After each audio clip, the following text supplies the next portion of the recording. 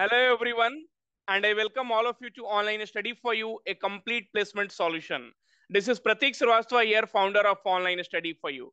Friends, as you are aware, Accenture is conducting the examination and friends, lot of question basically were getting repeated in the examination. So it is very, very important for you to solve the recent question asked in the examination.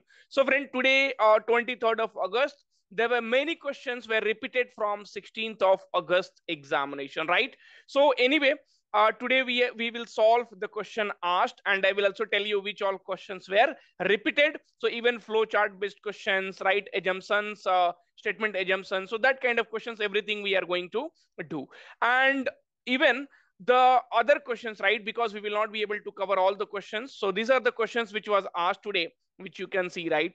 So all pseudocode and then your, uh, you know, from cognitive, right? So a lot of questions are there. So all these questions basically uh, will be discussed and tomorrow we are going to upload in the Accenture crash course. So here you can see we are updating whenever the exams are happening like Accenture 16th of August 2024 questions. We had already updated uh, pseudocode, right? Technical MCQs. We had already uh, uploaded, right? Coding questions, right? And in the live classes already I had covered uh, the question which was asked on 16th of August. So that we are doing it. Okay. And also we are putting the questions, right? So you here you can see uh, these are the questions also which was asked that also we are putting it. So if you have not got the Accenture course 8, the link is in description. Get it because there are a lot of questions which are getting repeated. Okay. Now, friends, uh, let us start with question number one. Okay. So select the number from the given option that can replace the question mark. So basically we have minus 20, we have minus 16, we have minus 12, we have minus 8, we have minus 4, and then they're asking what will be the next number. No problem, friend. So see, basically what they are doing in minus 20, they are adding 4, which will become minus 16, right? In minus 16, they are adding 4. So again, it will become minus 12. See, minus 20 plus 4 will be what? 20 minus 4 is 16 because minus sign is bigger. So minus sign will come here. Minus 12 plus 4 will be nothing but minus 8. Minus 8 plus 4 will again become minus 4. And minus 4 plus 4 will be nothing but equal to 0. So basically option A here will become the correct answer for the question number one, right? So this is how you had to solve in the examination. Now you will be asking, sir, Accenture question is so easy. Yes. If the question is easy, right, you have to practice that kind of questions. You cannot practice what you want, right? See, this is one of the question. Now 17, okay, 43. There might be different, different logic for the same question here, friends, right? So just wanted to tell you, if you look at it, right? So 2 cube plus 3 square. So this is nothing but 8 plus 9 will be nothing but 17. Then 43. So 3 cube plus 4 square. So 27 plus 16, it will be nothing but 43. So this is a logic for this particular question, right? See, for one question, there might be, uh, you know, different logic as well. I'm telling you 64 plus 25, it will be nothing but, sorry, uh, 89. It will be 89 here, right? So 89, okay. And then 5 cube plus 6 square. So 125 plus 36, and it will be nothing but so, uh, you know, 161, 161, right? So friends, see, if this kind of questions Accenture is not asking, if even if you practice this difficult question, it's of no use. That's what I wanted to tell you. So practice what is getting asked more in the examination, right? Okay. Now, friends, next question, question number two.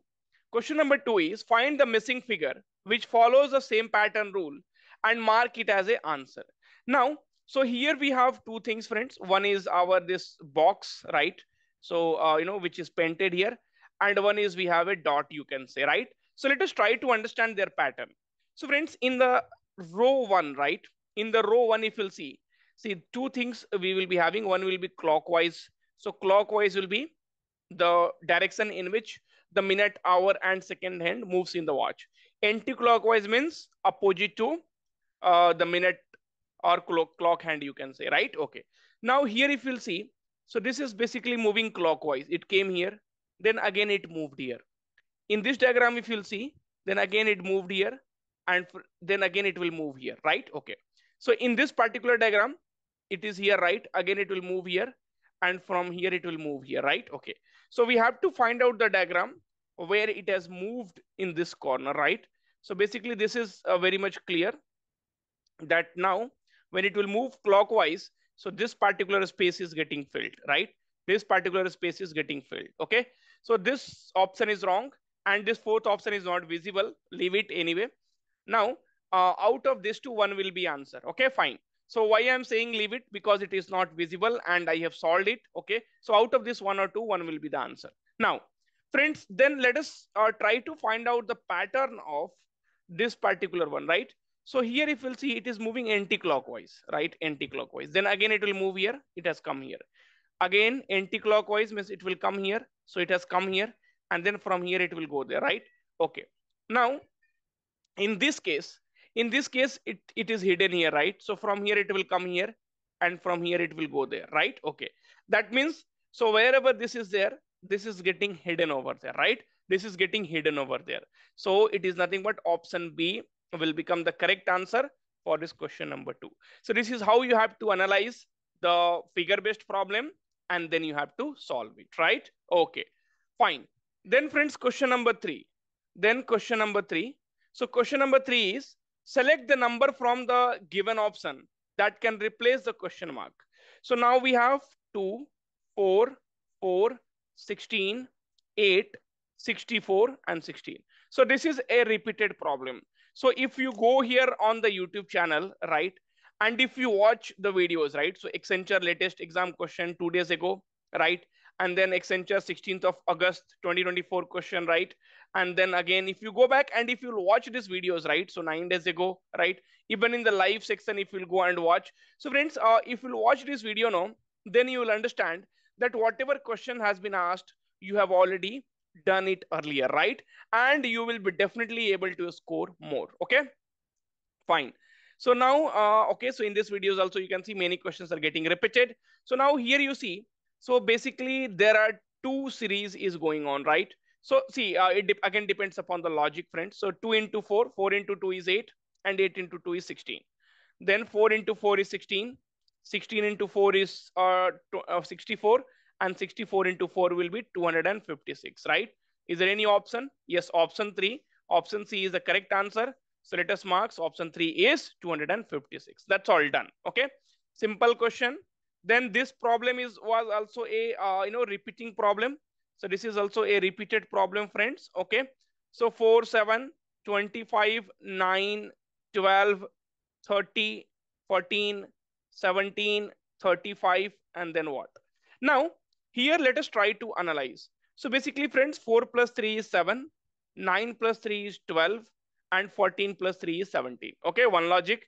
Then 25 plus 5 is 30, and then 30 plus 5 is 35 right okay and now and now friends one more thing which we have to observe here is so this 7 to 9 okay so this is gap of 2 this 12 to 14 gap of 2 right and then again if you'll see so 7 to 9 and 12 to 14 and then here it will be 17 plus 2 17 plus 2 will be 19 then the difference between next number is 22 and 35 plus 5 will be 40.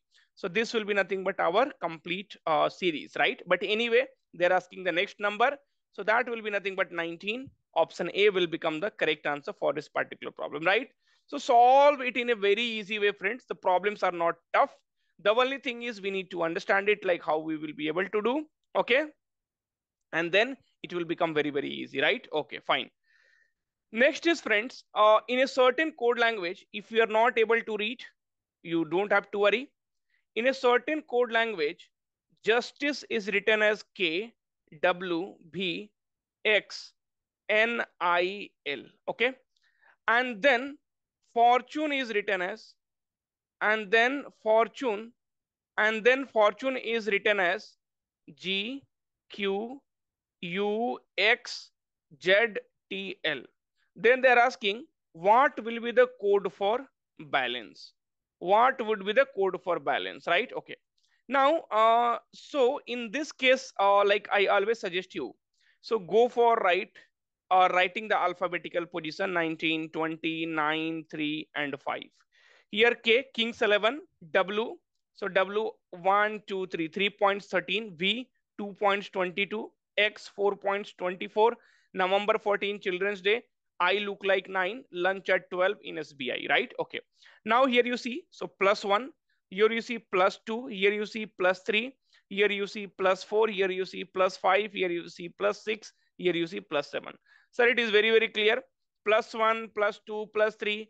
So plus 1, plus 1, plus 2, plus 3, plus 4, plus 5, plus 6, plus 7, right? Okay. So E plus 7 will be anyway L. So anyway, this option and this option is removed, right? Okay. B plus 1 will be C. So that is nothing but option 2. So you do not have to deal with all those things. In exam, you have to open your mind and then you have to solve the question, right? Friends, see, if you are not thinking and doing in the examination, then also you will be able to do. I'm not telling, so if you don't solve this, then you can't solve, right? No. If you don't write this, then also you can solve. But the only thing is somebody is going to do it in 20 second and somebody is going to do it in the 120 second. That will be only difference. Somebody will also try to find out the logic in this, which is totally unrelated, which is totally not required. This logic, why do you want to find it out?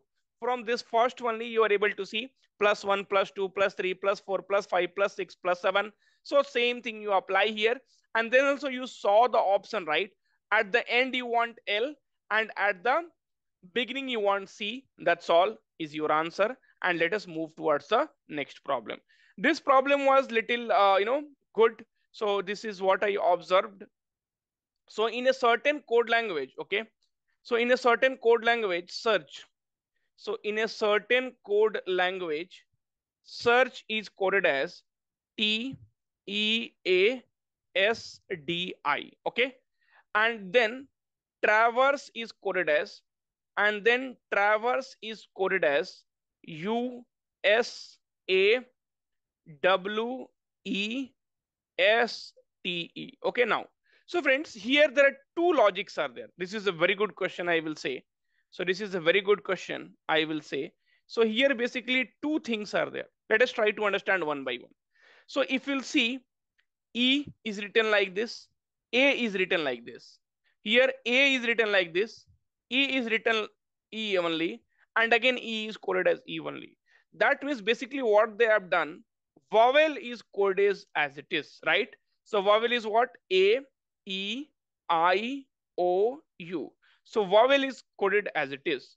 And what about consonant? So S plus 1 is T, R plus 1 is S, C plus 1 is D, H plus 1 is I, T plus 1 is uh, U, STU, R plus 1 is S, V plus 1 is W, R plus 1 is S, S plus 1 is T. That means vowel is as it is, okay, as it is, and consonant and consonant is and consonant is plus 1, okay, and consonant is plus 1. Now here you see pre-order, right? Pre-order, pre-order. So wherever you have vowel, first write it as it is. O, O, E, E, and then E, E. So you see third and fourth letter is E, O, and last letter is E. Last, okay, uh, sorry, last letter will be, so anyway, uh, sorry. So last letter will be R plus, anyway, consonant is there. So R plus one is S, D, E, okay, R, S, R, S, and P, Q, right? So it will start with Q. Okay, so anyway, this option is wrong. So Q, S, QS, that means this option is also wrong. So QSEO, QSEOSEES, option A will become the correct answer for this particular problem. So vowel remains constant and uh, consonant increases by one. That's all done and you will be able to get the answer. Okay, fine. Now next question. Now next question is uh, again a number series problem.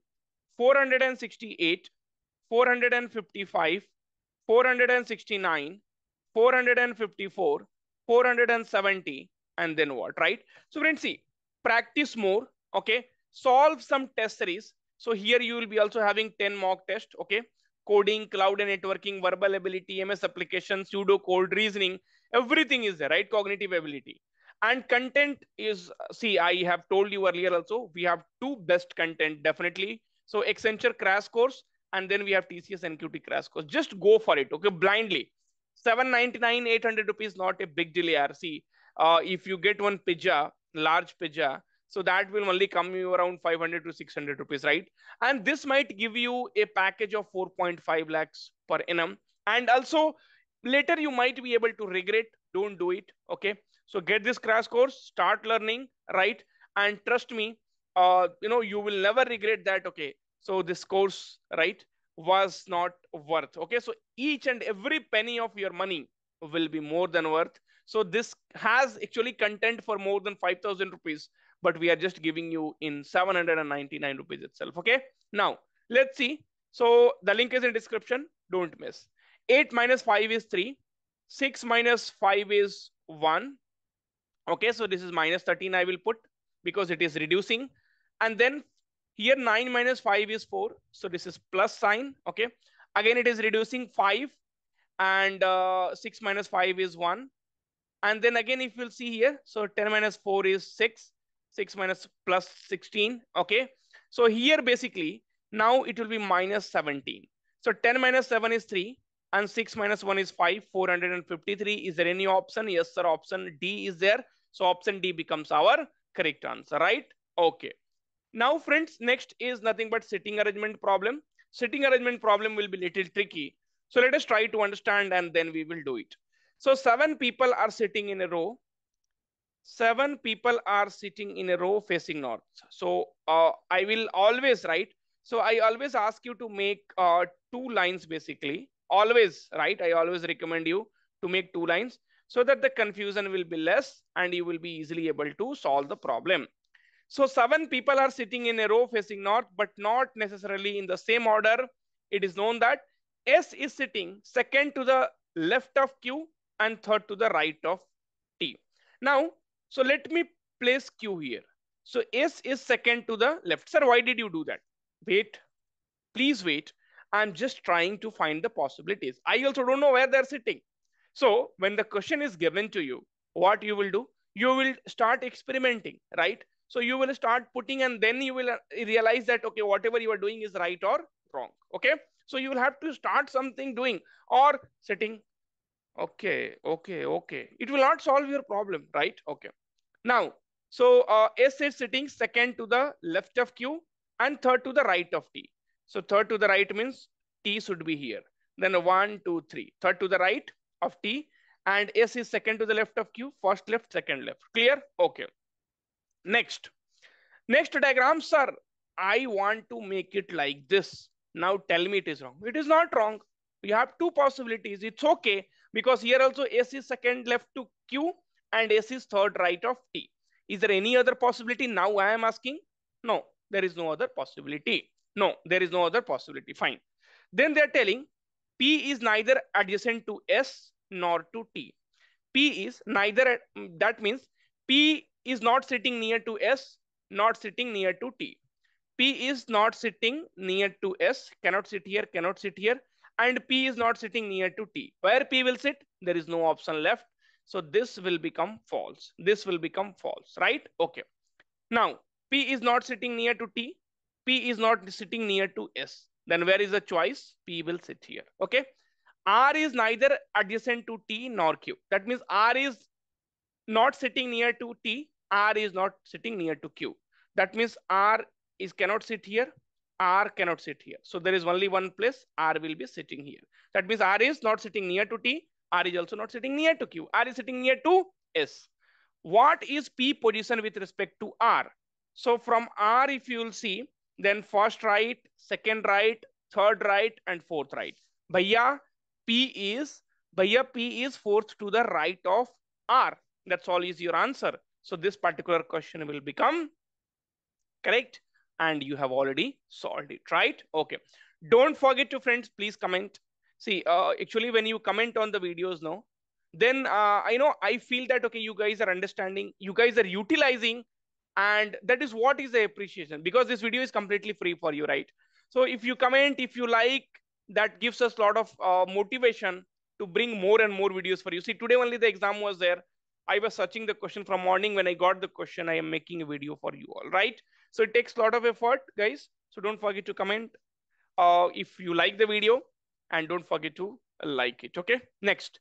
Friends, seven people are sitting in a row. Everywhere seven people are sitting. If seven people sits means, you know, it will be little uh, tricky. Okay. But anyway, follow the process always, whatever I'm telling you. Three, four, five, six, seven. Now, seven people are sitting in a row facing north, but not necessarily in the same order. Three people are sitting to the right of n. So it is very, very clear. Put n here. Then only one second, first, second, third. So three people will sit right to the n. Here also I will make it. So that see, why two diagrams, sir? Are you mad? no, yeah. See, always I take two diagrams so that you will not have any confusion. Things will not get messed up. Easily you will be able to do, right? See, already so many problems are there in life, man. My life, your life, everyone life has problems. So we have to try to at least, you know, reduce the problems. Three people are sitting uh, to the right of N. M is sitting somewhere to the right of P and somewhere to the left of N. P is sitting third to the left of J. Okay. So P is sitting, see friend, two things are there. M is sitting somewhere to the right of P and right and left of N. Okay. So PMN should be here. That means P and M should be somewhere here. Now P is third to the left of J. So I have two choice now. So P is third to the left of J. So let me put J here. So first, second, third. P will come and sit here. Okay. Now what is the second option I have? Second option, I do not have it only. Because see, J you can put here. If you J, if you put here, then P will come here. But M is sitting, right? M is sitting uh, after P and before N. So that is not possible. There is no other possibility. If is there any possibility, you let me know in the comment section. There is no other possibilities here. Okay. Now, so definitely M will sit here. That is done. Neither P nor J sit adjacent to K. So K, basically you can say K is not sitting near to P and J. So K will sit here. What is the question? So what is the K position with respect to M? M is here. If you'll see first, second, third, fourth. Again, it got the same answer here. Fourth to the right, option D. You have to uh, basically fill it in the exam and then come back and it will be definitely right. Now, this is a flowchart problem and friends, this problem was basically, uh, you know, it was same uh, thing which is getting repeated here, right? And you know the answer also it will be $24 because in the previous exam, uh, previous question, previous videos we had done it, right? Okay. Now, so read the provided flow chart carefully to answer the following question. So from here you have to start. Okay, and then uh, you know bill amount due days. So they are telling Mr. Robin paid his electricity bill. Okay, so bill amount of $120. Okay. After 20 days from the due date. Due date is nothing but 20 days. Okay. Now, find the penalty imposed on him. Find the penalty imposed on him for the late payment of the bill. Now, so then flowchart, you please move. Start and then you got the data and then please move. Are due days more than 10 days? Yes, sir. It is more than 20 days. So we have to go yes. Is bill amount more than $150? No, sir. Bill amount is $120. It is less, right? Then it is no. So follow this. Then penalty will be equal to 0.01 into bill amount will be $120 into days is 20. So this two zeros will take off these two zeros and P will be $24. So $24. Anyway, if you are confused in the exam with decimals and all, 12 into 2 will be what? 24. Just tick and come. Your, your problem is not to find out where you have to place the decimal and where will be the decimal, right? So forget about that. Next is a question from the topic syllogism. Okay. All applications are solution. Very good. So all the application,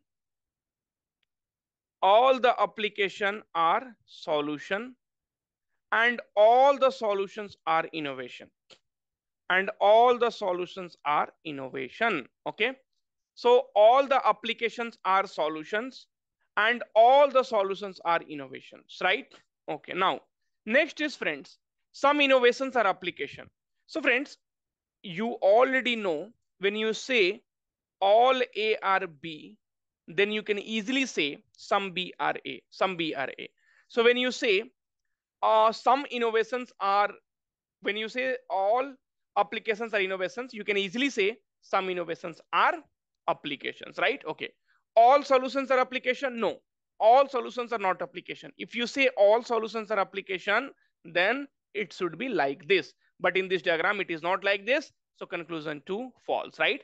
So some innovations are application, correct? All solution replication wrong. So only conclusion one follows. You had to tick option one and come back, right?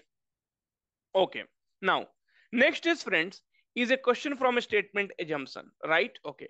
So here what they're telling, so a food technology company reveals an innovative machine that is capable of transforming discarded plastic waste into ed edible protein bars. Okay, so friends, a food technology company reveals that a very innovative machines is there that can transform discarded plastic into protein bars, which can be easily eaten. So friends, few things you can only say that uh, if the food technology company is telling that they have an innovative machine capable of transforming, then it will be definitely safe and secure because they have to go through a lot of standard process, right? So we have FSSAI, so you have to take a lot of permissions that, okay, it is safe and then only you can make, uh, you know, this protein bars from the plastic. Second thing, friends, if you are making a protein bar and you are saying that it is uh, edible, right? That means it is very, very clear that it can be safe to eat, right? And it can be easily eaten, right? Okay. So this by seeing only you are able to, I have not seen the options now. Now we will go and see. So the conversion process is safe and produces protein bars suitable for human consumption. Yes, that is what is, that is what has been told also in the statements, right? Okay. Friend, that's all for today. And now uh, Nitin sir will be uh, taking the coding things from here. So once again, before I go, I wanted to tell you friends, so get this Accenture crash course as soon as possible. Tomorrow we are going to add Accenture 23rd of August 2024, more number of question. Thank you, take care. And now let us start the class with coding. So hello everyone and welcome to Online Study for You, a complete placement solution. So in this video, we are going to talk about the Accenture coding problem which were asked in today's examination that is on 23rd of August. So it is being asked in today's morning shift and that's why it is going to be very important video for all of you guys who are preparing for Accenture examination or who have Accenture examination recent times. Okay, so let's start with the very first question that we have and let's discuss the problem first and then move to the approach to solve it. Okay, now the problem statement you can see on your screen, it is stated that it is question number one. So actually two questions have been asked. So this is the first question and it is saying the question uh, named as rebound height. Okay, and the description as follows that Daniel has a ball. Okay he wants to find the ball's rebound height, which he dropped from a height h with an initial velocity v. After the nth rebound, the final velocity of the ball will become vn. Your task is to help him find and return the integer value representing the height to which the ball rebounds after n bounces. So it looks like to be a physics problem that we used to solve during our engineering period or during the JEE preparation period. But the problem is being framed in such a way, but we have to write the code to execute this problem. Now let's understand.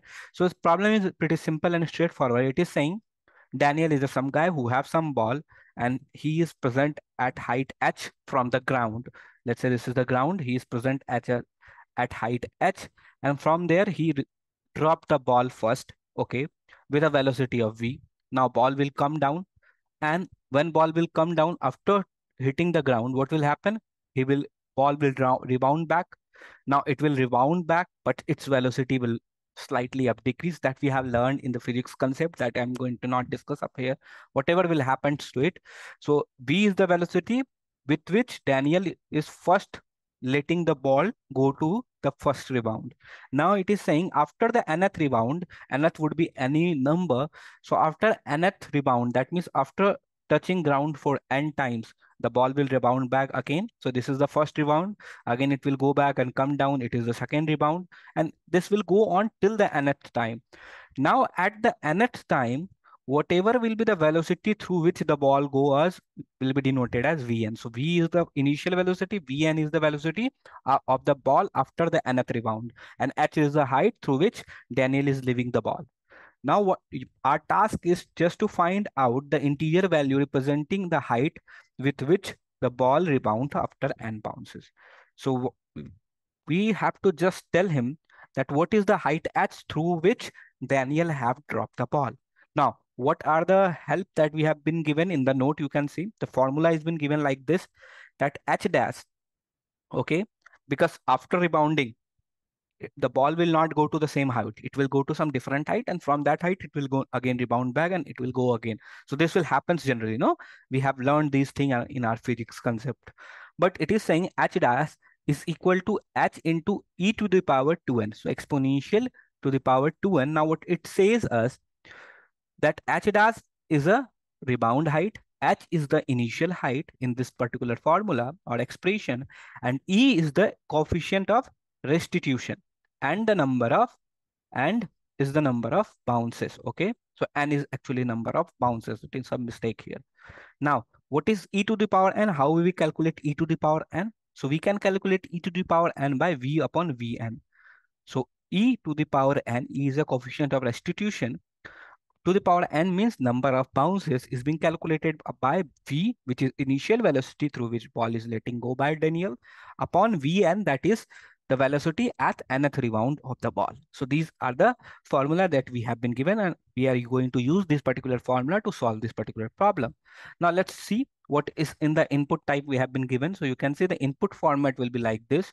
The very first input is height h, the initial height, Next input is V, the velocity through which the ball is letting go at very first time. And Vn is actually the velocity at nth rebound. Now what we have to take, tell him that what will be the height actually reached by the ball at the nth round.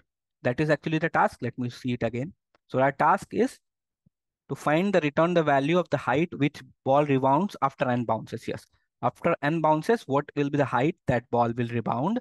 We just have to tell him. So let's see how the output is coming here. You can see that for the same input, 10, 20, and 5. So that means for this, we have an input of h has 10, v as 20, and vn is 5. Now, if we use this formula to calculate the value, the value would come like this, you can see. So initially the value of h is this. So what the formula that we have? Here is the formula to find h dash. We have to find h dash. That means at nth rebound, what is the height? For that, what is the formula? h into e to the power 2n. Now we know about h because this is the input that we already have. In this case, you can see. Now we just have to calculate what is e to the power 2n. Now for that also we have a formula that we have a formula for e to the power n. So for e to the power n, we have formula that v upon vn. So if we have to calculate e to the power 2n, it is nothing but e to the power n whole square. Simple. It is clear now? It is just these things. So what we have to do, v upon vn whole square. This is just the formula. So instead of this, while I'm writing this formula, instead of this, I just have to write v upon vn upon, of square. So we know all these three values, so we can easily calculate hn using this. So task, task is very simple for this particular problem. You just have to derive this formula and just put the values in this formula and you will have your answer. So let's do the same here also. So the value we have, h value is 10, v value is 20 and vn is 5. So let's do the same here. So h is 10 multiplied by v is 20, vn is 5 uh, upon square. So 10 into 4 square. 10 into 4 square is nothing but 16. So it is comes to be the total value as 160. So the output of h dash will be nothing but 160. So let's see the output. Yes, it is coming to be where it is the 160 for that particular case. Let's do the, uh, the same for the ne next input that we have. For the next input, the value of h is 16. The value of v is 5 and vn is also 5. So for that, the formula of h will remain same again. That is h into 2, uh, h dash will be h into 2 to the power n So we have already derived the formula of 2 e to e upon 2 to the power n, which is nothing but v upon vn of a square. So h is 16. v is what? 5. What is vn? 5 again. Take the square. So 16 into 1 square is nothing but just the 16. So again, the output will be coming as 16. So you can see on your screen, the output is coming as 16.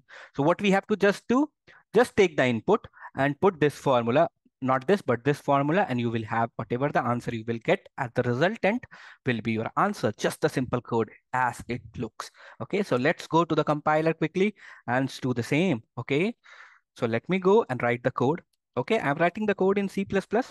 I think the question is pretty easy. So whatever language you are using to, there will be no problem uh, that would happen to you. But if you have any problem, comment down. We will try to resolve that also. Okay. So using namespace std. Okay, let's go.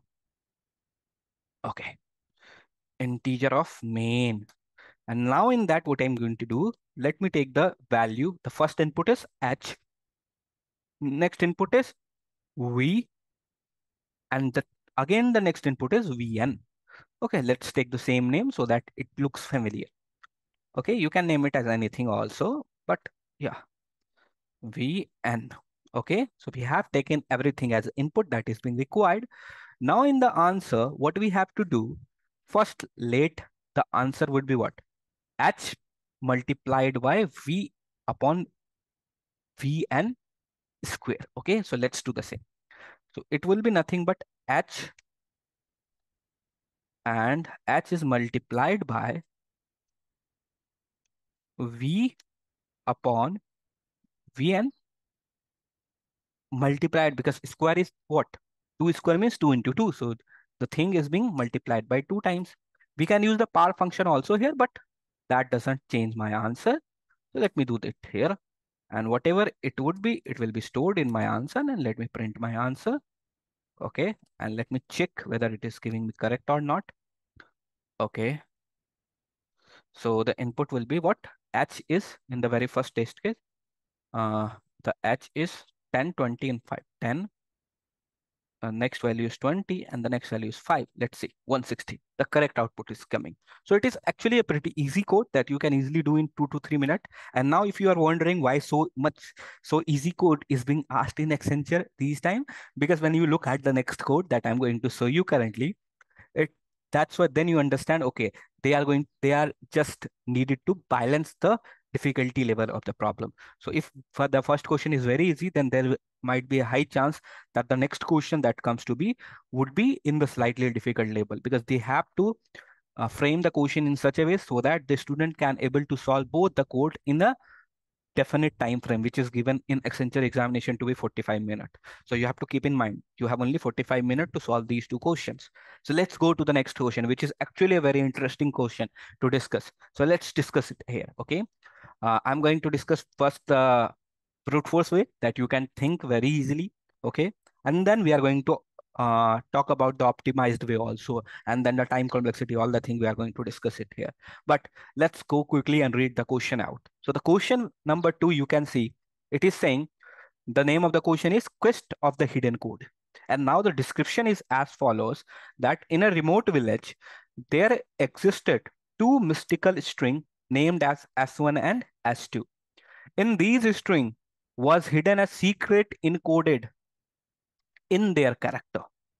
So till now, what we have understand is that there is a story is being framed around that in any, any remote village anywhere, there existed the two string. The name of the string is written here as S1 and S2. And it is saying in these two string, the characters of the two string is designed in such a way that it encoded a certain secret code. Okay.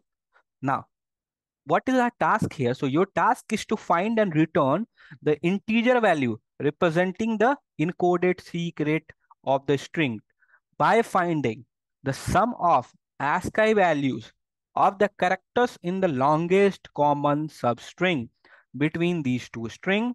Return zero if there is no common substring. Let's try to understand it. This is the most important part. Now, what we have to do, So we know about the story that, okay, two string is being there and these two string is formed in such a way that they encoded some secret message. Now we have to get that secret message and that too in the form of an integer value and how we will take the integer value through the characters that encoded the message. So we have to convert the characters eh, through the ASCII table. Now, what is the ASCII table? We are going to discuss at the end because that is not the priority up here. The priority is how we are going to get up that particular character encoded code. So that particular character encoded code is nothing but the longest common substring between those two strings. So we have to find nothing but longest common substring between those two string S1 and S2 and whichever is the longest common substring we have to get that first and after that we have to convert each character of that particular substring using the ASCII table into its integer value or decimal values and then add them all and get our answer. So that will be the case. So let's find out how to find the longest common substring because that is the main problem. If you're able to find out how to find the longest common substring between the two string, then everything would be pretty easy in that code also. So let's find out that. Before that, let's see some notes here. So the notes is being mentioned as that string S1 and S2 contain English alphabet in lowercase only. That means all the character will be in the English lowercase. Lowercase means small a to small z. All the numbers should be in this range only. All the characters should be in this range only. Now, if there are multiple longest common substring, so there could be a chance that there could be a multiple longest common substring. That means there could be two substring of the same length because longest means longest of the length. Let's say of three length, there are two particular common substring that we able to find in a uh, what you could say uh, two strings in between two string then which we have to follow up. So it is also mentioned here that we have to be the that substring which occurs first. So we have to consider for our answer the substring which occurs first. So this is again a very important thing that we have to keep in mind while solving this problem. Now let's i hope you understood it. So let's go to the input part and let's try to understand it from there on so the input will be like this simple input. The first input will be the string S1. The next input will be the string S2. Now what we have to find? The longest, sorry, longest common substring. Okay, so let's do it. Let's do it quickly. Let's try to understand it quickly. So if you look at the example here, so the example is the first string is adventure Okay, and the next string is future. Now, what is the substring? Let's try to understand what is a substring. So substring is nothing but a part of a string. We could call a substring as a part of a string where the if you take that part out, then from the starting index of the substring till the end index of the substring, no uh, character should be missing. What I'm telling you, if you take an example of A, B, C, and D, you could say A, B, BC is a substring. Yes, it is a substring. You could say BCD is a substring. Yes, it is again a substring. You could say ABCD is also a substring. Yes, it is also a substring. But if you say ACD is a substring, no, it is not. Because from the starting position till the ending position, you could say we are missing one character in between. So it is not said to be a substring. So substring is a part of a string where all the element from the start to beginning of that particular substring should be in the contiguous order. Okay, so continuity among the characters order should be maintained in the substring. So these things you have to keep in mind. Everything will be simple. Uh, you would also imagine the substring will be similar to the subarray part, which we have taken in the array things. So let's go and try to solve it. So if you look at these two strings, the S1 and S2, how you will find the common substring? So what is the very first thing comes in your mind? How you will able to find out? Let me again write it in the more clear way. So char and few very good. So what you will do at very basic, we are talking about the brute force way. Okay. So you will compare these two first, whether these two are equal. No, it is not equal. So now what you will do? So you will start comparing because you have to find common between two things, then you will start comparing between them from the very first beginning. Okay. So what are the chances that you have? So what are the total possibilities that you have? So the possibilities are only three possibilities. Total three possibility could happen when you match the two characters within a string at any particular index. The possibility is very simple. Let's say if both are match, if both are match. One thing is both are find a match. And the other possibility is both with characters we are comparing, both do not, okay, sorry, don't match. So these are the two possibilities that at first we can we could see. So let's see this. Which possibility is happening currently? So if you compare the first very first characters of the two string, then you would say, okay, the, these two characters are do not match. So where it will go? It will go up here in this range. So it will not match up here. So now what you will do? Now what you will do? So if it is not matching, if it is not matching, so you will again search for next next thing. No, if it is not matching, so you will not end your search here because there are remaining characters to be there. So yeah, you are going to search for the next. But while searching for the next, the thing that you should keep in mind that you do not increment the both together because there could be chance that this could be matching with this or this could be matching with this. That means it could match diagonally here. That means, let's say if eh, there will be a case, you will increment the D and there instead of F, there could be a D. Then this could be matching. So you cannot, when there is no matching, you cannot just go in a way that you will increment both of them together. You cannot do that. Instead, what you will do, you will have now two possibilities from this path. So here you, so total three possibilities among, so one possibility will happen here. And when you go there, there is two possibilities. So what are the two possibilities? You will increment the first string, you will increment the index, you will go to the next character of the first string, or you will go to the next character of the second string. So if let's say I will increment, I, I will uh, represent the index of the first string and j will represent the index of the second string, then what will happen? Either you will increment i plus 1 or you will increment j plus 1 to find a new string, new substring. Okay, you will now have to find the new substring because you haven't find yet. You haven't find yet, so you have to find the new substring. So these are the two possibilities. These are the two possibilities. And whichever among these two possibilities, at the end, will return the maximum, that will be the maximum among them too. Because whenever I talk about the number of possibilities, number of way that we can form from a particular time, then it seems to be a recursive problem and it is a recursive problem because here there are multiple possibilities that we have to keep in mind and we have to go to at each particular situation, there are multiple possibilities that could happen. And whenever this kind of question is being formed, whenever it kind of question could be formed, we have to go with the recursive approach. And these things we have discussed in our Accenture live classes. So if you are already enrolled to that live classes, then it will be helpful for you already. But if you are not, you can also check out that class. In the live classes there, we have discussing these kind of concepts so much up there, okay? So now there could be two possibilities. I plus 1 will be incremented for the first string, i plus j plus 1 will be incremented so that the second string could be moved. So this could be a possibility. So now so this is the possibility when it will not, not match. But when it will match, like when it will match, you could see uh, when it will match, it will be F. So when you reach here, when your I reach here and J reach here, then it will be matching, no?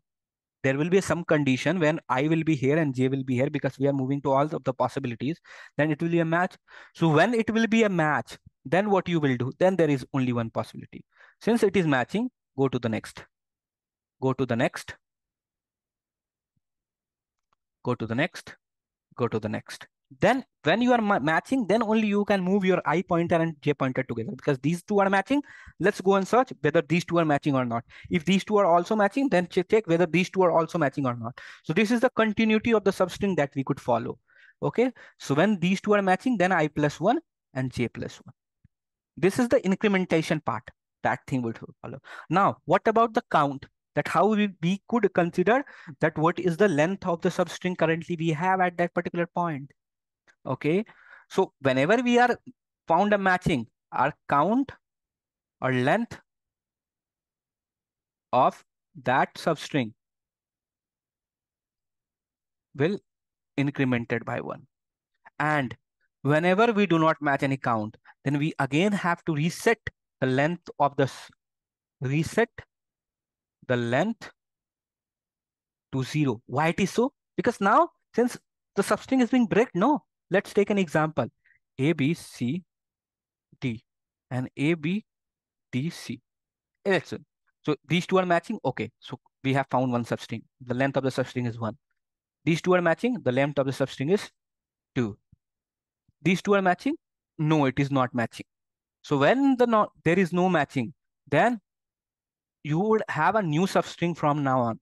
When there is no matching, so now the substring which you have already been following is have no, uh, what you can say, say on the new substring that would be formed now. Because this is not the subsequence thing, it is substring. In substring, you cannot miss any part between the two end point.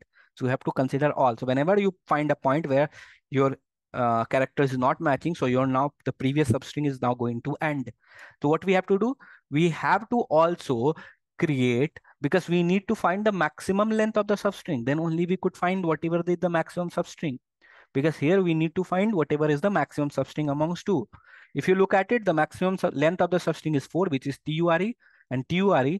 And actually TUR is, uh, is the resultant maximum substring, common substring that we could form here. This could be our answer in this question.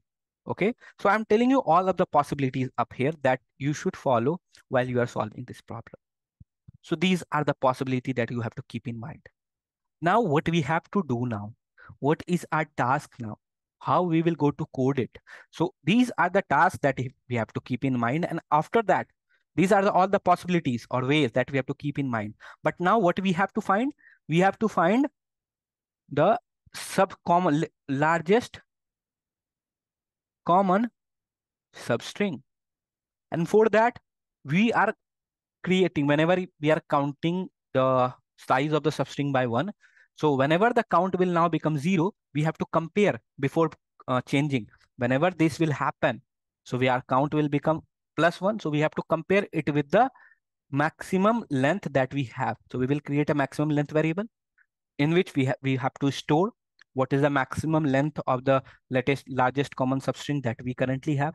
And if we found a new substring which is more lengthier than the substring that we currently have, then what we have to do, we have to update it. We have to update that also.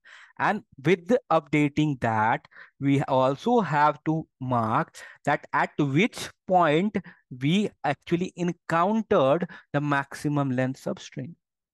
Because if we know, let's say at E, at T, whatever the maximum length substring that we have encountered where it has been started. So it has been started at point two. If we have marked that, that at T, actually the maximum length substring at this will be four in this problem. And it has been started at T. So we could easily find the substring starting from the T till the length, till total length of four. So we could add the four character through it. And that will be our substring in that particular problem. So this is the logic you we have to apply up here. Okay, so let's go to the coding part and let's try to code it, the brute force approach. And then we will move to the optimized way. So the brute force approach, if I will go here, what is the way that I have to put it? Let's understand. Okay, so the input type will be nothing but just the two string. So the string S1 and string, sorry, S2 will be the two string that we have to take as input.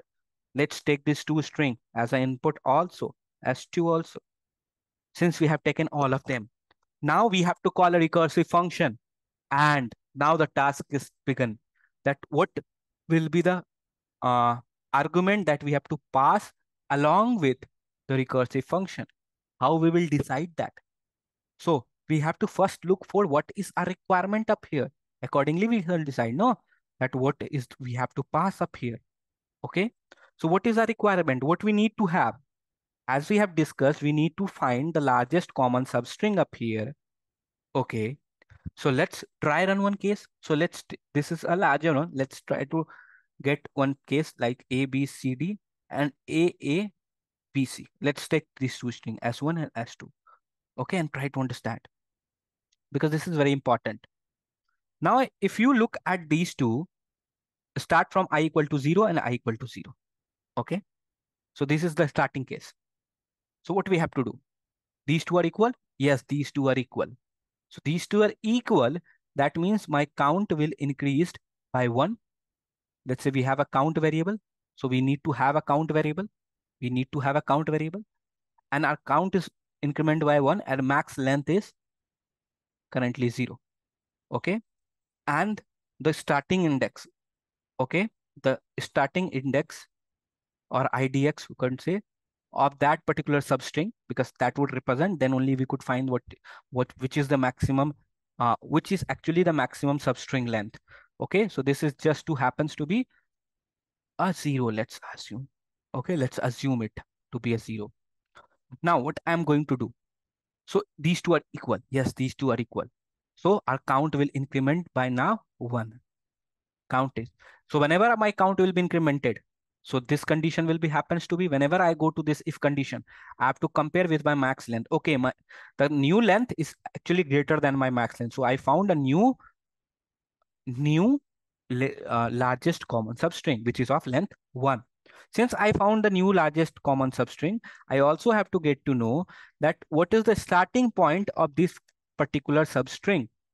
So the starting point, how you get to know the starting point, because this the length is one, so the starting point formula would be nothing but just a simple thing. You would have to do uh, what you can do here. The correct index, let's say i and j, whatever the string you could take, okay? Whichever string, no problem. So let's take the string one index. So i minus the max length plus one. So this is to find the starting index of that particular substring. So you can say i is what? i is currently uh, 0 and minus 1 plus 1, which is nothing but 0.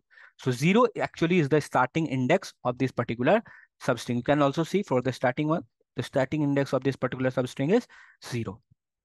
If we ended up here, so we could have this substring as our answer. But since our operation is not ended here, so what we have to do? Now we have three possibilities. One possibility, because we have encountered this, so there will be one possibility also. That possibility is increment it. Increment it. So one possibility. Both are being incremented. This is one possibility. Other possibility is the first is incremented. The next possibility is the second is incremented. Clear? So when both are incremented, do we find anything? No, we do not find anything. So our count will be reset to zero. Both are not equal. Again, the next possibility is the first is incremented. So when first is incremented, the second left it here. Do we have any matching? No, we do not have any matching. But I'm only talking about the way where we found an answer. Let's see it. So when the pos third possibility when i is remained same but j is incremented. So when j is incremented, then these two are equal. So these two finds to be equal. These two finds to be equal. So again, our count will again will become one. Again, compare it with max length. No, it is not the new length. So we do not have to update anything because the max length is still same with the count. But now when you increment a again and this again incremented. So i will incremented by one since you have found two and j is also incremented by 1. So again, you found equal. So b and b are equal. So count will become 2 and max length will now become 2. And what is the index according to this formula? So index according to this formula will become i is what? Uh, i is actually at first index. So 1 minus, let me raise it, 1 minus the max length is 2 plus 1. So 1 minus 2 plus 1 if I'm not wrong. Uh, so it will become what? Uh, it will become nothing but 2 and 0. So index will become 0. Okay? Index will become 0. Now again change it. Again change it. So go to the next value. It will again go to the next value. So now again equal. So count will become 3. The max length will again become 3. And the new index will become, uh, sorry, 2 minus 3 plus 1 which is nothing but again 0. Again 0. So index will again remains to, remains to be 0 and the max length is 3. Now we have ended up. So when is the end condition will happen? When you're either of i or of j or both of them would reach the end of the string. So when we reach the end of the string, which is the base case. So now we have to end our operation for this particular way. And this will be the answer only. You could find go to other way also check other way also. But at the end the max length will become remain as 3 and the starting index will remain as 0 this is the starting index is for s1 we are considering. So what we have to do now how to find the string? Go to s1 the s1 is this. Start with the starting index which is this. The character is a. Take the three character from there because max length is three. That is a b and c. So this is the longest common substring for these two string you can see. So in this way, we are actually getting our answer. So I have dry run one code so that you could understand it. So now let's go and do the same up here. So what we required only, we required two things. The first thing is the max length variable, which actually hold the max length among the all possible ways. And the other one is the index which hold up the starting index of that particular max length, which is be our answer. Now let's call the recursive function from here. Let's call the recursive function. So, and whatever that recursive function will return, we will store it as our answer. So solve uh, int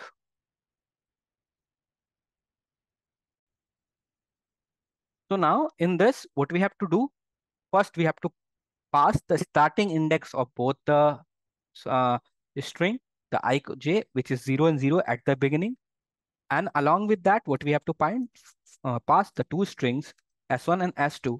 And along with that, the max length will also pass and the idx will also pass. And one more thing will be passed, that is 0, which is the current length. 0 is what? The current length of that particular, uh, it will actually hold up the current length of the particular, what you can say, way which you are onto, okay? So this will hold up that. So let's do and write the function code for this particular function. So the function name is solve, the recursive function I'm calling. And in that, uh, let's say the I will iterate over the string one, the J will iterate over the string two, and let me get the string 1 and string 2 also. And also the max length and also the uh, IDX, I would say. And on the top of that, let me pass the count, which hold up the count for particular that particular uh, iteration that we are on to in a recursive call. Let's go and do the same for it.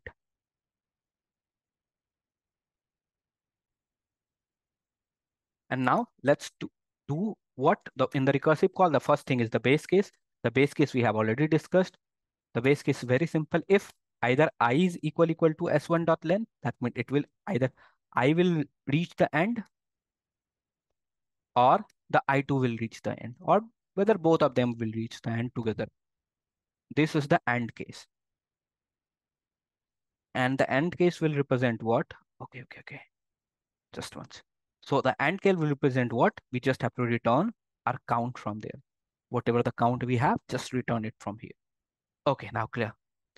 Okay, so now the case will happen. Now we have to look for if the base case will not happen, then we have three possibility. The very first possibility is that if S1 of I is matching with S2 of J, if matching, if the characters are matching, then it is simple. You will have to increment your count by one. And on the top of it, you also have to increment both i and j by one, one index. Okay.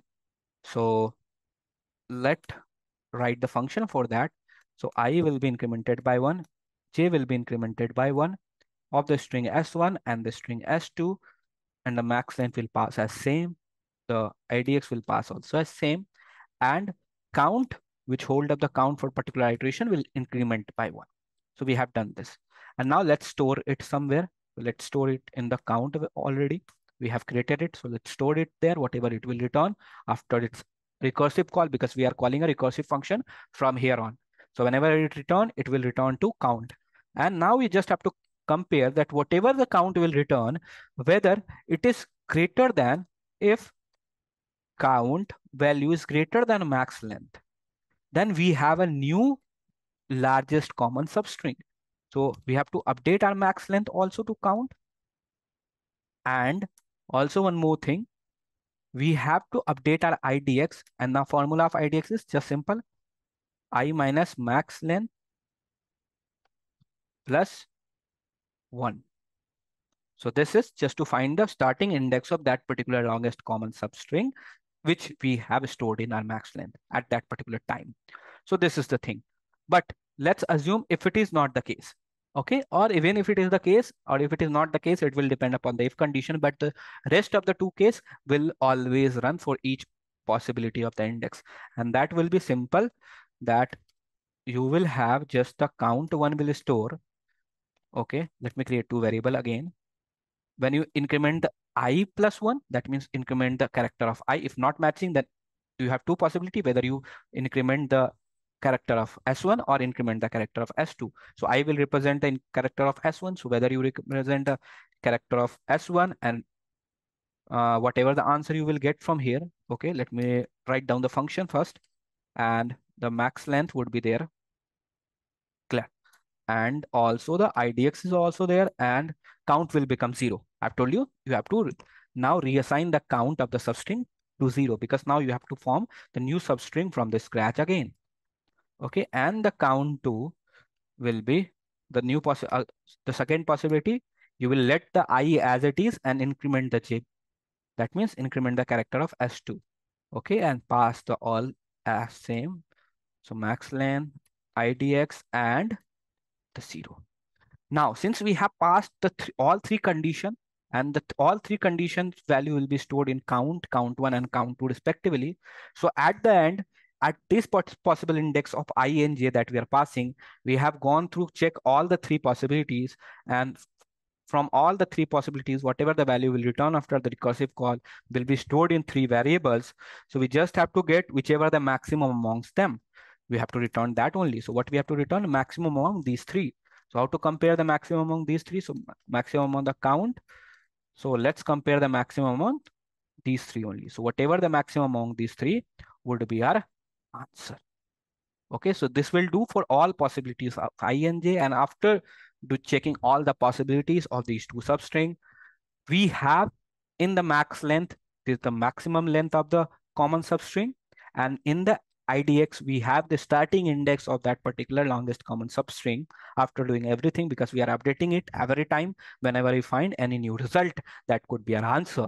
So that is being returned here. So answer is being returned with the maximum length. So answer will contain, contain the max length.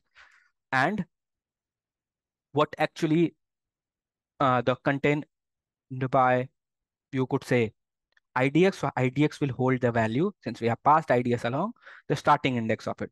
So if we have to know the string, so the string is nothing but a string temp. Let me create an string temp. And that would be s1 dot sub str. This is a function to draw a substring or you can write a substring from that particular index also. The starting index is IDX and the length is max length. So we have a substring. So let me first get you know that whether we are getting the correct substring or not. Then we are just have to convert that substring to using the ASCII code to the integer value that we want to print out here. Okay, so let me print the substring first. Okay, this is not the input. Uh, the very first input is adventure and the next is future. T-U-R-A. What output we are getting here? T-U-R-A. It is the output. It is actually the largest common substring that we want to get. We are getting it. Now what we have to do here? We haven't have to print it. Instead, we have to print, change each character into the ASCII value and then print it. Now, what is the ASCII table? So ASCII table is nothing but is a table uh, notation in which each characters or each notation, each special character, everything have its own value. Each characters, let's say A have also a hexadecimal value also and a decimal value also. But since we have been told to change the answer into integer format, so we have to only look for the decimal formatting value only. Okay, you can see here, we have to, uh, what we have to do, integer where it is saying ASCII value finding the return the integer value. You can say we have to return just the integer value. That's why since we are getting TURE, so there are four character, namely TURE. So we have to change each of them to a integer value. So what is the ASCII in uh, using the ASCII table? What is the value of T? So if I have remembered, so it is nothing but 116. Okay, you can check in the ASCII table also. So T have a value 116, U have a 117. From A to Z, if I would say you A has 97 and Z have 122, B have 98 and so on. Whether you are incrementing the character one by one in alphabetical order, its value will be also incrementing by from the previous by 111. So since T U, so T have 116, U have 117, uh, R have what? R have 114 and E, A, B, C, D, E. So E should be a value 101. So if you add all of them, the value comes to be what? Uh, you can see here, the value comes to be 448. So when you add all of them, the value comes to be 448. Now in C++, simple typecasting will happen. Just we have to typecast the character into the integer format. And when you typecast the character to integer, it will be typecasted using the ASCII table value. So what we have to do, we let me create an integer val, which is initialized as zero. And now let me go to each character of that particular string. And in that, what I'm going to do, the auto iterator will point to the C will point to each character one by one. Okay, not the string, but the string name is as temp. Inside the string name temp, I will go to each character and at each character, I'm adding it to integer variable C will be added and at the end, so all will be character will be typecasted to integer value, then it will be added here and then I will print the value to you. Okay. Let me print it. Okay, so now you can say I'm getting the correct output as 448. So this is the code, okay? So this is the code. We, what we have discussed in this code, we have just looked for all the three possibility that would happen at each point of time. And we are going to all these possibilities, you can say. And amongst all the three possibility, whichever is the maximum, that will be our max longest common substring, substring at each particular point of time.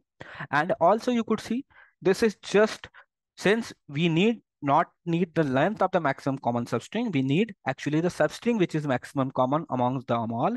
That's why we need to have to compare this each time so that we need to have the in starting index of the longest common substring within these two when we are comparing these two substrings so that at the end when we got the substring we could change it, it into the integer value using the ASCII table formatting and we will have our answer. So this is the code.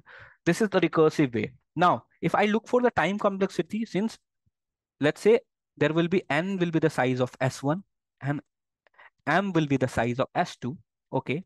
So for each element of the S1, we are running for three times. So total 3 to the power n will be the time complexity we are running for S1 and 3 to the power m, we are same running for S2 and both are multiplied because we are comparing with them both. And so the total time complexity, you could say m plus n or n plus m, whatever you could say, it is the time complexity. So you can say exponential time complexity is coming to be here. So it is actually very large. If you would say, if you only compare the five length elements, so three to the power five time would be the resultant output. So let's assume for a hundred length string, then it could be so large. Okay, so it will be very large. I would say, so that's why we are saying, even this is a correct formatting. This is the correct code. This is the correct process, but we used to not do this. That's why we shift from recursive method to the dynamic programming method. So now we are going to discuss the dynamic programming method. Look, I can directly tell you the dynamic programming method also. That would also work for you. But I just want to explain you that how actually the recursive way work.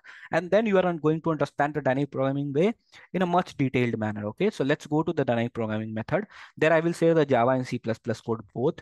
Okay, now let me go to the dynamic programming method. But before going to it, I just want to share with you guys, if you really want to prepare for Accenture in a detailed manner, because you can see the kind of question they are asking eh, actually very good in these days. Okay.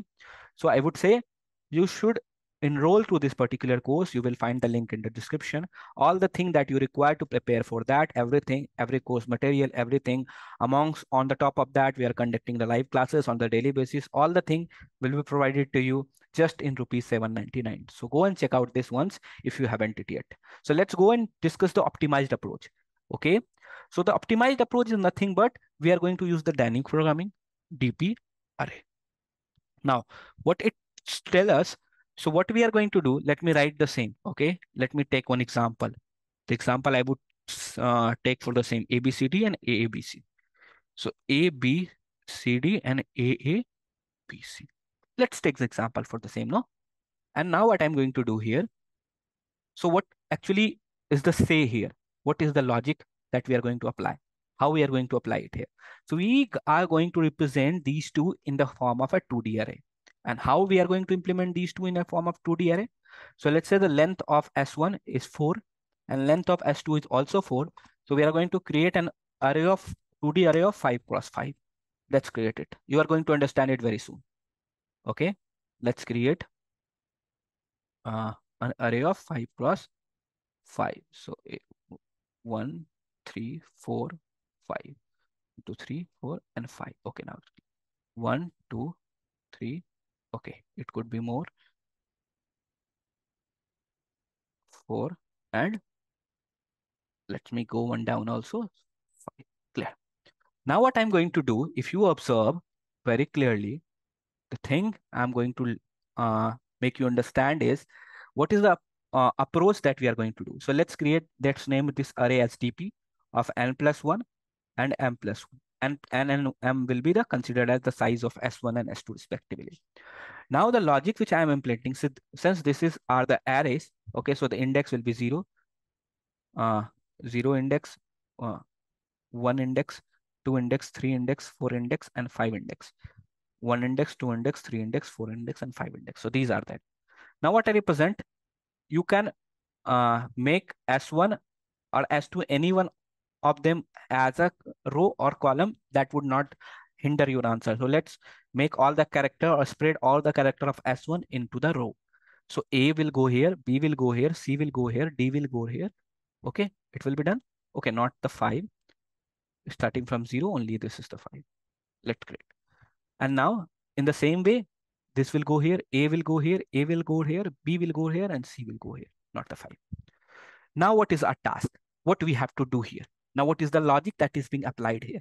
So it is saying, it is saying nothing but index, index, index. Let me raise it. So it is saying just a simple case. Please try to understand it within five minutes. Everything will be clear. So please focus for the five minutes. So what I'm telling you, the logic is in this array, we are going to compare each index one by one. From A to A, we are going to compare. From A to B, we are going to compare. A to C, we are going to compare. A to D, we are going to compare. Now, since it is a substring, so in substring, we know we are going to add plus 1 to the substring only when both are matching. Both are matching. Since we have seen that in the recursive way. Here also the three condition will work. We will add only one to the substring when both are matching. When both are not matching, then what we are going to do for that particular thing? Just zero. Both are matching, plus one, and both are not matching, simply zero. Because now you have ended that particular substring here. Now you have to find from a new substring from there on. So what is happening here? Initially, what will happen? Please listen to it very carefully. So initially for the zeroth index, everything will be zero. Why I'm telling you? So for the zeroth row and zeroth column, everything will be zero. Why it is so? Because for the zeroth row, you can see no element is present. So there will be zero length of your substring that you could form because this is actually empty value. So for empty uh, uh, characters, you could not form any substring. So the substring length will be zero only. Now let's compare this A with this A. That means this is the row column. Let's say compare the uh, column with I and row with J. So this j and this i will be compared. This j and this i will be compared. Both are same. Both are same. So when both are same, increment by one. Now, to whom you will increment by one? To whom you will increment by one? Look your diagonally. Look your diagonally. Why you are looking so, you are going to understand it so. So if you look at your diagonal, why it is happening? If you look at your diagonal, you will find, okay, it is zero. So zero plus one will be one. That means till this, when you are, let's consider A, A, B, C, and D, A, A, B, C. So till this point, you only have a one substring, which is these two are equal. So this is coming correct. Now, when you compare A with B, A with B, so that means you are comparing this A, sorry, not the this A, this is S2. So this is for S2, this is for S1. So S2A with S1B.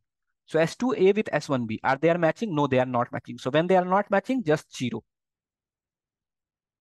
Do they are matching A and C? No, zero. Do they are matching? No, zero. Okay, clear. Go to the next. I'm checking for each possible index. So what each cell will represent? So let's say what this cell will represent? The maximum length of substring till this point. From B to C till this index, what is the maximum length of substring that it will represent only, okay? So now go to next value. Now A will again compared with each character. So here what I'm doing, for each character of one of the string, I'm comparing with everyone. So A will be matching with A. Yes, A will be matching with A. So what I have to do, increment it by one. But I have to look it diagonally. Why I'm looking so diagonally? Let's understand it. What is actually happening there? So actually A, B, C, D is a string, which is this, and A, A, and B, C is a string. So when I'm here, I'm comparing it, it with this, it with this. I'm comparing it with this. So what is the length of the substring that we can form now? One only, because this and this will form only one substring currently. So that's why it is coming to be one. And since I'm looking at diagonally of it. Now when you reach here, AB is what? AB is what? AB is not matching, zero. BC is matching, no, no matching, zero. Matching, no matching, zero. But when BA is matching, does B and A is matching? No, zero. But BB is matching. Now look for it. Why I'm checking for diagonal. When B and B is matching, then I have to check the previous of it uh, is already matching or not. So what is the, when B and B is matching, that means this index B and B is matching, then I have to check the previous of it, which be A and A, you can see, which is diagonal of it. It is matching or not? Yes, it is already matching.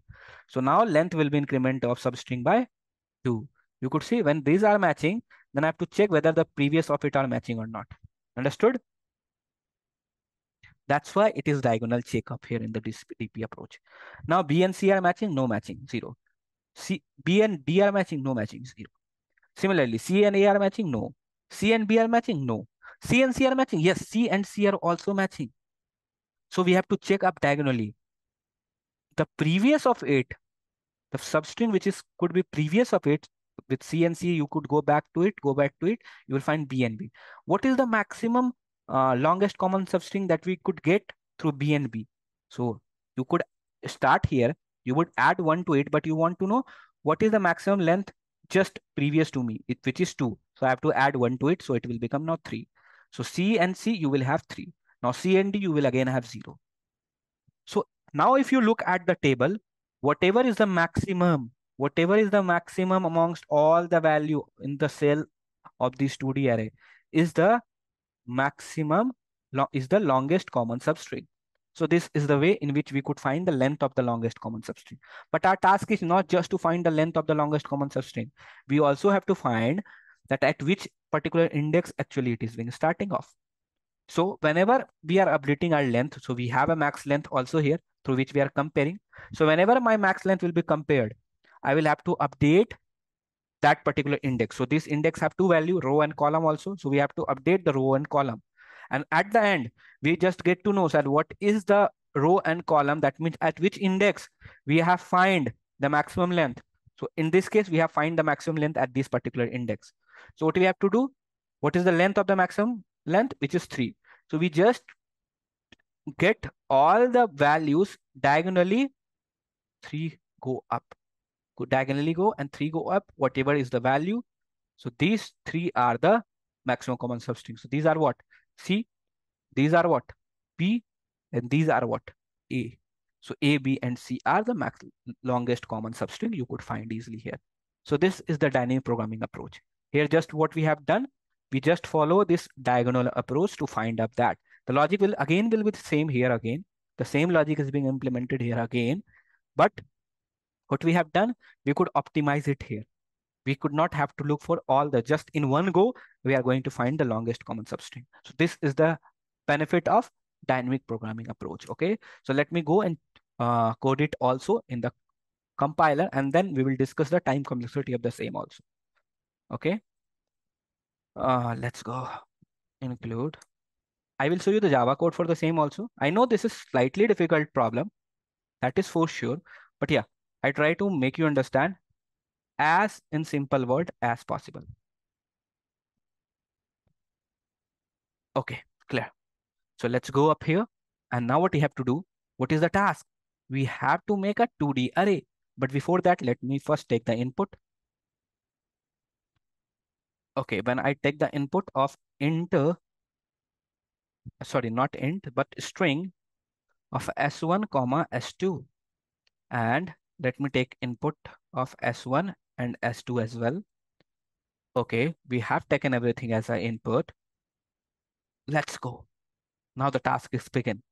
We just have to find out what is the value that we could get up here. Okay, so the value that we got, for that we first have to take up the length of the string S1 dot length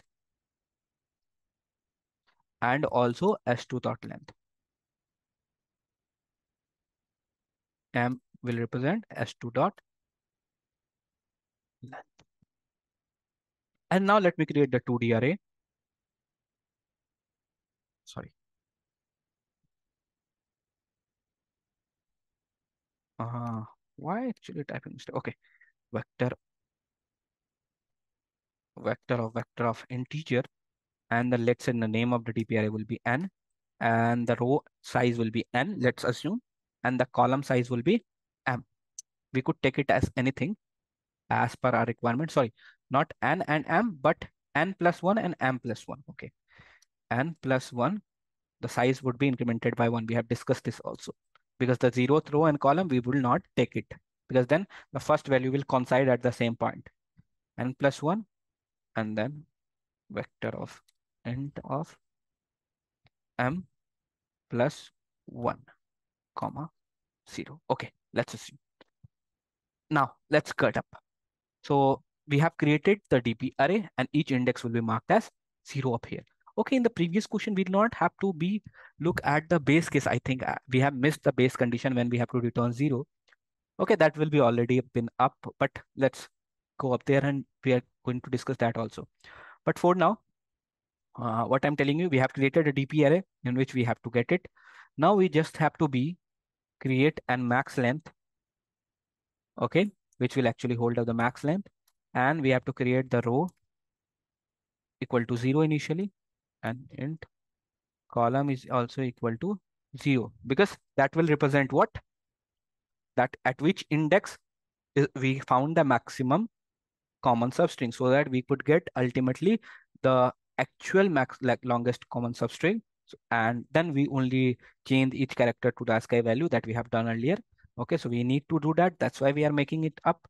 And now we have to go into the 2D array starting from the index 1.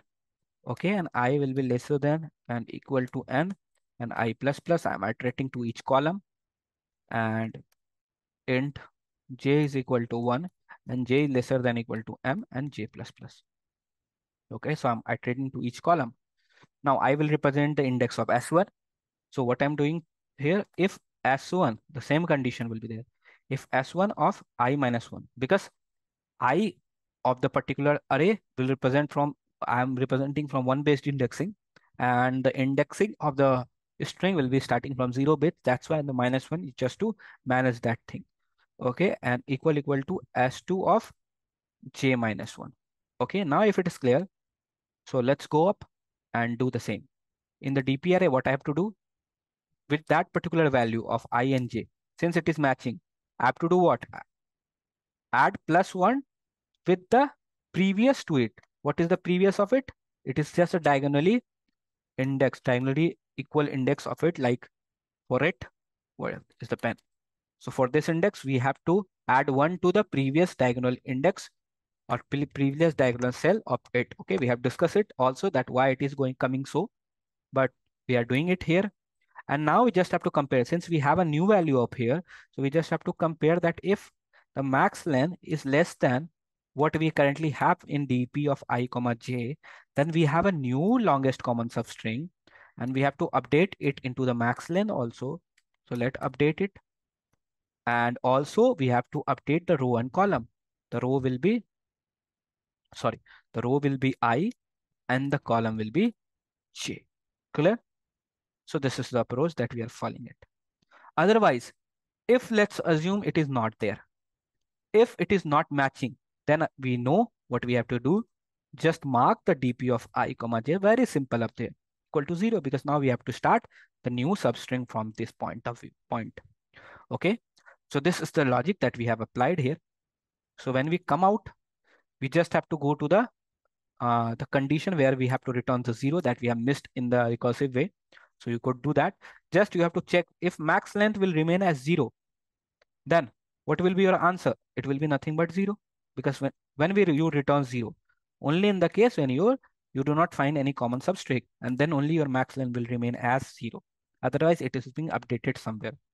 Now, so this is the case. Otherwise, if it is not there, then you would have an answer. So how to find that answer? So for that, let's create a string temp, which is initially marked as blank. And now what I'm going to do, since I'm adding in a previous manner, we can say first C will be added, then B will be added, then A. So it will be, have to be added in reversed manner. So since string have a concatenation property, so we can do that. So we can add it in the reverse manner. So how we are going to do it here? So let's go and do it till the time you will not encounter till the dp of row and column will not become zero or the max length will not become zero. You could mark it as anything because when the dp of row and column will become zero, now your substring have to end that you have been taking currently. So what you are doing now, you are just adding into the temp, sorry, the temp plus temp is equal to dp of mm, row or you could say the s1 s1 of whether for s1 we are considering row. For s2 if you are doing you are just considering the column. It will not affect anything okay? Row minus one because we have discussed it. The 2d array is start with one based indexing we are considering and the string where the character will hold up actually will be zero based indexing. So that's why we are doing minus one here. And on which we are adding the result. Sorry, not result, but temp. Why we are adding temp at the end? Because I've told you, we want to add in such a way. So when C will come, okay, C will app. Now when B will come, we have to add the B, okay, here only. C, because we are going in the opposite way. So it will come after it, okay? So the value will come after it. That's why we are doing. And now since we have the value, okay, so what we have to do now, okay, now one more thing, sorry. I have to go to the next diagonal index and how we will reach here, just decrement the row by one and column by one because we are moving up in the diagonal position in the 2D matrix. So this is the way in which we could do that. Now, since after doing it, we have that in the temp, the exact log, log uh, sorry, longest common substring that we required. So what we have to do now, just create a variable which hold up zero, the same thing, and now do a for loop to run over uh, to, run over each character of the temp and at last sorry. And at last just in the val add the c. Okay so we have converted it into the integer value. And now just print that value. Okay what is happening?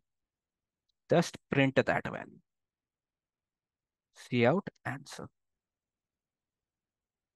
Okay, let me run it and let's check.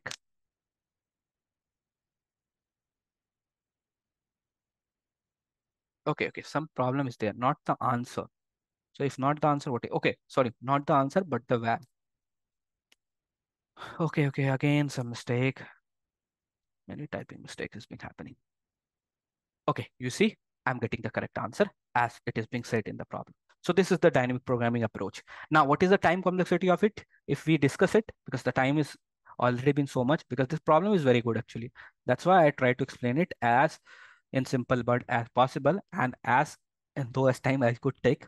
But yeah, so the time complexity is simple. I'm going to each uh, in the matrix, which is of n plus one size and m plus one size, I'm going to each cell of this matrix one time, okay? Visiting every cell one time. So time complexity will be n plus one multiplied by m plus one, which is nothing but simply n into m. So you can see from 3 to the power n plus m, we come down to just n cross m. So it is far better approach than this. But yeah, we have discussed both of the approach, whichever will fits you best, go up that. Please try to understand the brute force also, then it will be very easy. If you understood the brute force, then this dynamic programming will be just easy way. Just we are doing the same thing, just here what we are doing, we are all the we are checking all the three possibility in only one go. The two possibility is just managed in this way that if it is not matching, the two possibilities just change to zero. If it is matching, then the same way that would happen in the recursive call would be happening here also. So this is the code that I want to discuss with you. Hope you like this video. If you have any still any doubt, comment down. We will try to uh, solve that up as soon as possible. Okay, so that is all from my side to this video. Just the last thing I would want to again request you, go and check out this course. This would be very helpful for all of